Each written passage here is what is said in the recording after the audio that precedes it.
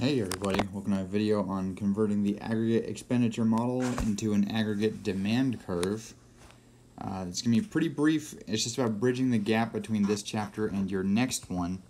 The aggregate demand model is usually where we will do most of our short-term business cycle work. So what we're going to do is we're going to use the aggregate expenditure curve to create a more powerful model, or if you don't like that phrasing, I can at least say a better known model one of the main reasons we use the aggregate demand or the aggregate expenditure model is to build this new one. So, what happens to the aggregate expenditure when the price level rises? The reason we care about this is because the aggregate demand model links the price level and the aggregate demand, or the GDP. So if the price level goes up, there can be at least three different effects.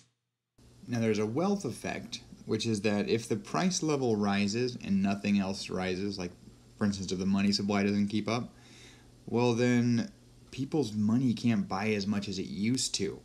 So as prices rise, aggregate expenditures will fall. There's another one called the interest rate effect.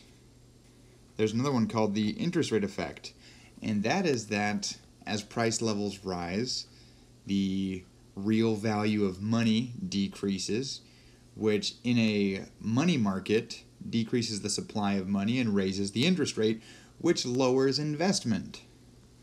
Another one that hits us is the international trade effect. As our prices rise, we're going to import more of other people's stuff and we're going to export less of our own stuff. So, in three different ways, I just hit CI and net exports. When price level rises, aggregate expenditures are going to fall. So let's see if we can show what happens as price rises. All three of these decrease aggregate expenditures, so let's show it. Here's one graph. It's going to give us our aggregate expenditure line over GDP. And here's a second graph we're going to compare it to.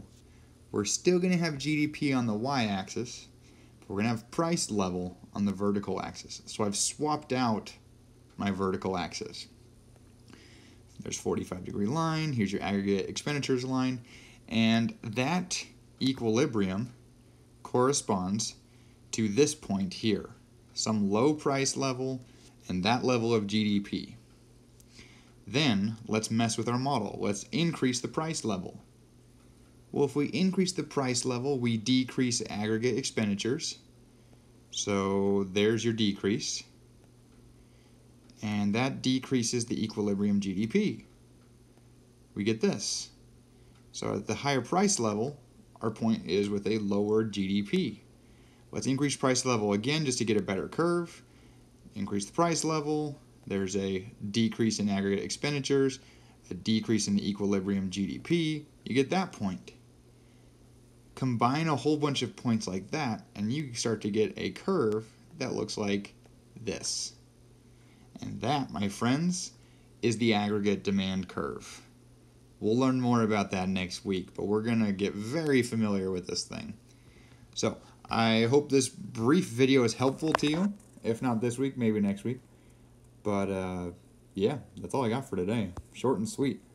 Thank you guys for watching. Good luck and happy econing.